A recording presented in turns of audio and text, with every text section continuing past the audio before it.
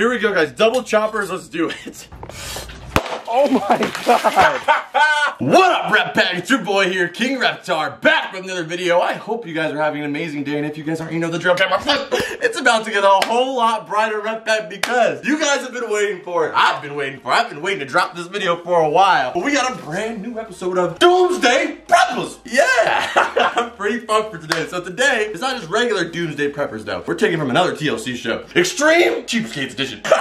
so what I was thinking is the whole process of doomsday prepping is basically where me and Parker try to learn all these different survival techniques, all these different survival products in order for survival during a doomsday situation. As many people may know, especially doomsday preppers, it can get very, very, very expensive. So, right here in this box, I went online to a website called Wish, which if you're on this channel, you know what Wish is. Basically a place where you can get stuff for dirt cheap and you just kind of have to roll the dice and hope it's okay. So, come on over here. In this box, I have filled up with pretty much every item I could find in the survival section on Wish. Everything you were seeing in this video today, I got for under $100. Like every item or the whole total? This whole box. Oh god.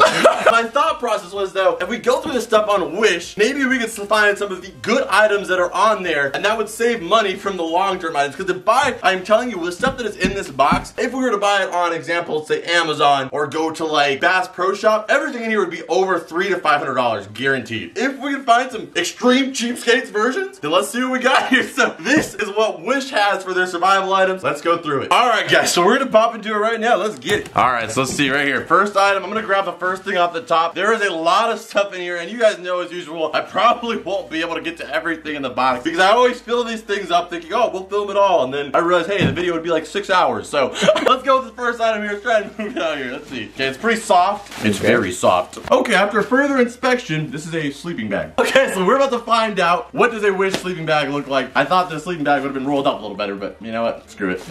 and how much I paid for this? Seven dollars. That was the shipping. Oh. Yeah.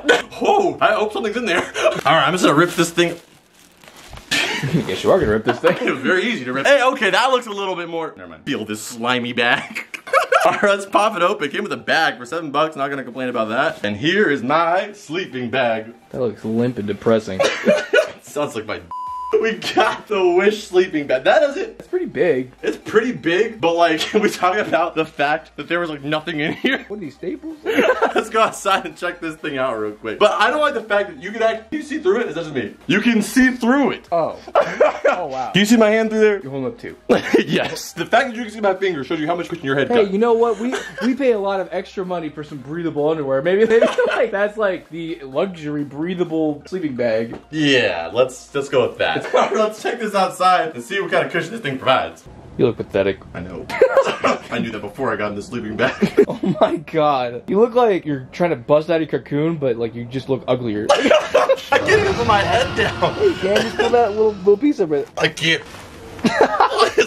Why is, why is one arm out? There's not enough room for my other arm. I'd say, Wish, if you want to make a better sleeping bag, assume that I'm not five foot two. Well, what? Get out of here! hey, wait, wait, wait. You, you don't want to throw that thing around. You might make it blow up or something. it might spark and then be the most flammable thing on earth. this is all you have between the earth and your back. Okay, so we can check this one off the list. That is not worth the money. Okay, so Wish, as usual, the wish is mostly you just wishing that the product could. So let's go to the next yeah, I was just thinking that. Yeah, I, I wish I could get some sleep. I wish I could. It's looking for value.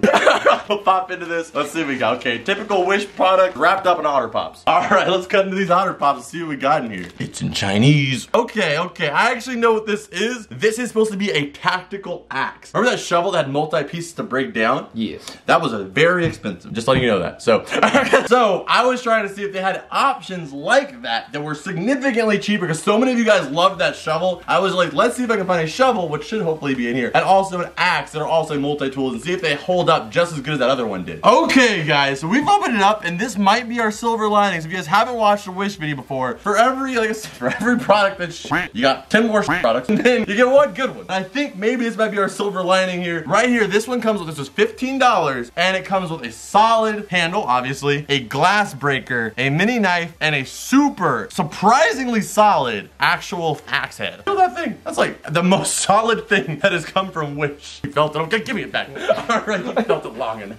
You're safe now with me. We're gonna go outside and try it out real quick. Let's go ahead and close this thing down though. So you can put the axe head in, or you can obviously put this in, and you can even put this on the bottom. So you have the knife and you have your glass breaker. You got an axe in this hand, you got a blade in this hand. Boom. And you know what you have you didn't mention? Protection. Oh yeah, and it comes with a condom.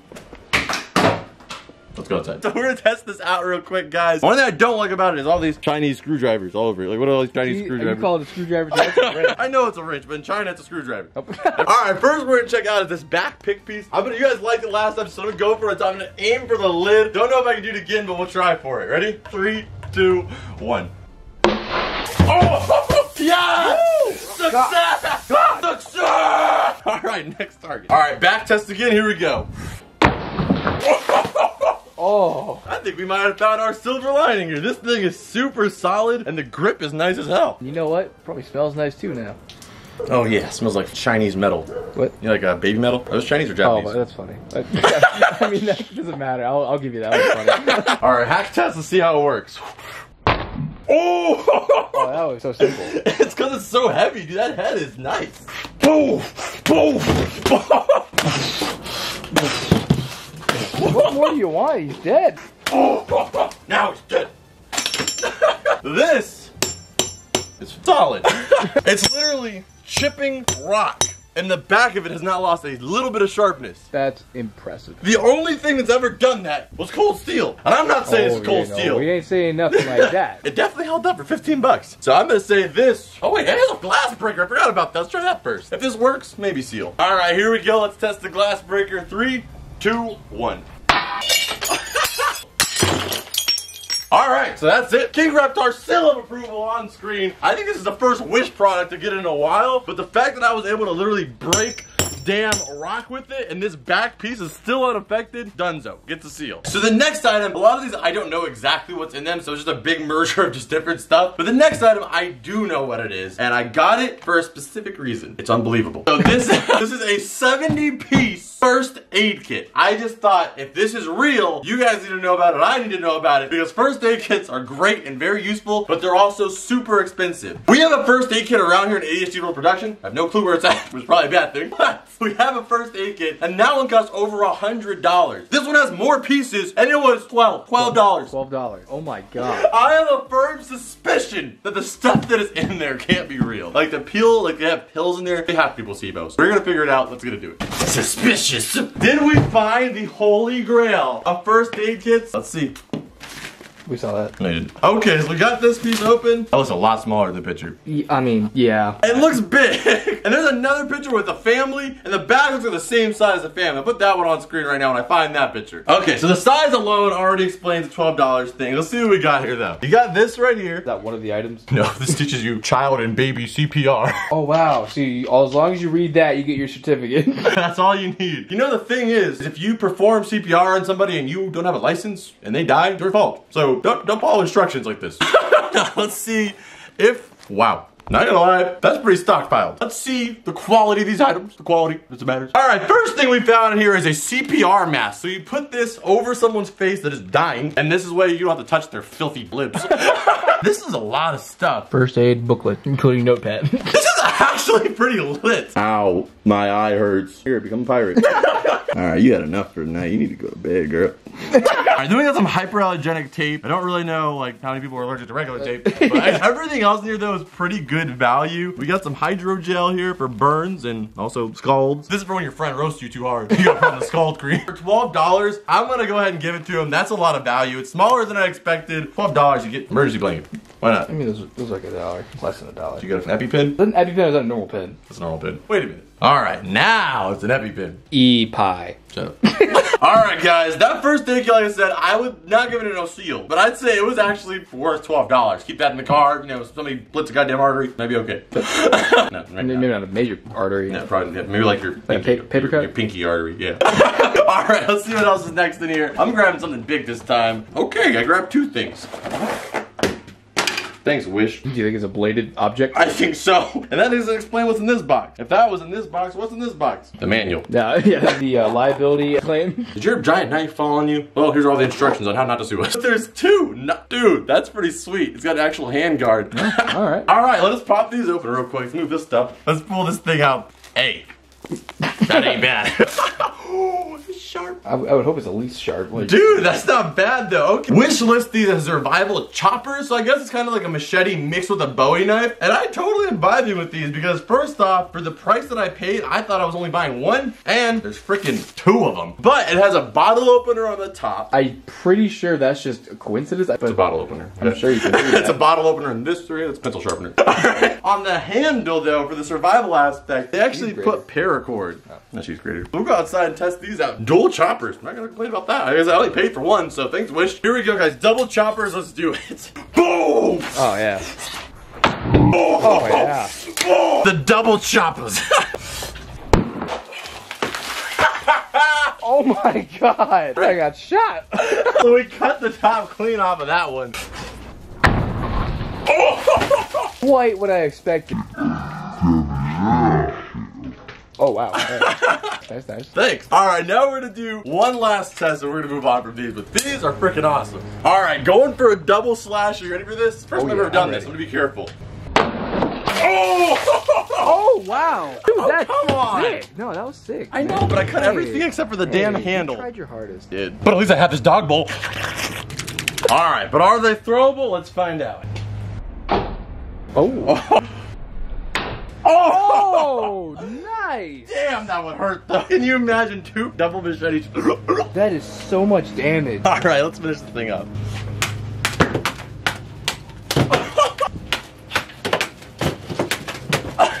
you know what? This is actually a pretty good wish track record. Yeah, I'm not. I'm not gonna lie. Like, These are solid. Everything's holding up. I'm not gonna give two items, two seals, but hey, it would be this close. There's a seal. It's a seal contender. Let's see what else is in that box. All right, so let's get back in here and see what else we got. I'm gonna go for something on the smaller side this time. Let's see what we got.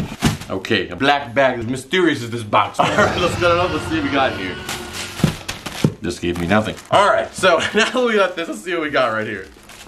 Are these pants? X stretch. They, they misspelled stretch. Stretch. Did somebody say stretch? uh, well, no, that's what that's what they're going for, but they Uh-huh. actually but they misspelled it, so it's I actually said street. Oh, okay, Not- good. Not, yeah, not stretch. Because stretch, that's Jeff. It's copyrighted, all right? Yeah, but I whatever you're saying right now, I don't care. Okay. What what a friend. I know, right? Damn. What do you mean? a friend? There's a gut one. I'm putting it back in the room. All right, so after further inspection, these are waterproof pants. Basically what it is, if it's like a doomsday situation, like a hurricane or some kind of flood, a lot of bacteria is what the company's claiming, X stretch. They're claiming that there's a lot of pollutants in that water, which is true. If there's a hurricane, a lot of the sewer water actually comes up and gets into that water, and it's very disgusting. So this should protect your lower half and your orifices from being infected. All right, so what we're gonna do is I'm gonna try them on and we'll find out if they're really waterproof. All right, so it took a while, but I would manage to be able to squeeze into them. It's a Chinese medium, so that did a lot for my confidence. so they're on. These are the waterproof pants. There's a very obvious problem we'll talk about, but first off, the style. I'm for real, man. Like, damn. but the problem is, they are waterproof, but the problem is, is there's nothing on the bottom to close them because, um, maybe I'm wrong, but you get water. Wouldn't the water just go up your, your leg? So what we're gonna do is we're gonna put my feet inside these plastic bags. We're gonna gorilla tape them around the pants. I am wearing my regular pants, so if my regular pants get wet, then we can go ahead and say these aren't waterproof. All right, guys, so I have the pants on, and I did this so that way my feet would be protected. So if any water gets in, we will know these are not waterproof. Also, remember I said that thing about my confidence? Ruined. Because I bopped the zipper. Okay. I Have a compliment, now. Yeah, yeah, let's go with that. so what we're gonna start with is Parker is gonna be spraying my entire leg area, and I'm gonna see if my pants underneath get any wet. But another fun fact, my phone screen's cracked. I'm gonna keep this in my pocket. So if any water hits it, I doubt the waterproofing worked. But just for the science of it, let's do it. All right, we're starting off minor here. Go for it. I feel cold. Feel, you, feel the, you feel the cold? I feel cold. You feel the wet? So far, I feel good. Go ahead, good. give us a roundabout. That's for your butt. All right, I think that should be good for the first test. All right, so you soaked me right here pretty good. You can It see some of the water drops left here. I mean, looks. I don't know. Looks dry. Do you Looks- feel dry? It, it feels okay. I can't really tell 100%. But let's see if my phone is wet. You blasted this spot pretty thoroughly. Let's see if my phone is wet at all. Nah, it's still cracked. Oh, that, alright. that, that didn't fix. all right, so now, now I have to do this. I kind of was hoping it was wet because now I'm doing this. All right, so give me a second, throw my phone in here because this, my phone's not gonna be in this time. So what we're gonna be doing is inside of here. This is 100% or almost 100%, 80% filled with water. All right, I'm gonna be getting inside of here. Obviously, the splash test didn't work. So if you were at SeaWorld and you know Shamu jumped, your your pants would be fine. But I'm talking about goddamn hurricane. Okay, we were walking, we were trenching through about four feet of water. Would your legs get wet? Now that's what we're gonna find out. All right, here we go. My feet feels dry so far. Okay, Okay, there you go. We're in here. Got me wet. Damn. I wear no waterproof pants. So I'm gonna get all the way down. I'm submerged. You know what? I feel water going up my oh. leg. Oh, it's getting higher. It's getting higher. Oh, it's getting higher. It's not working. Bubbles are coming out. Oh, safe to say it didn't work. I feel like not. So I'm gonna get out and we'll see where my pants are. Check check them out. See if my pants are wet. I'm very cold. And if they are wet, assume I would have gotten a disease in a hurricane. Okay. Okay. I think by the amount of water Oh. That's all coming out my pants. I feel like my pant leg is one of those water reservoirs where you push your cup against it. I can literally feel it draining out my leg right now. that hole in it. Yeah. oh my god. Oh my god. Are my pants wet? No, just looks like denim. I went in wearing light blue, and now I have dark blue. okay, my pants are so... Like I said, guys, I can't even get them off. So like I said about Wish, guys, it's a hit or miss, as you guys know, but it's my favorite goddamn site there is because it's always the test. I hope you guys enjoyed it. Smash that like button, subscribe you're new here, and check out this video right here, guys. The last episode of Doomsday Preppers which is actually a fan mail edition where somebody actually sent survival gear in fan mail. I'll see you guys over there. Check it out. As always, Rep Pack, I'll see you beautiful people the next one. Adios. Bloop.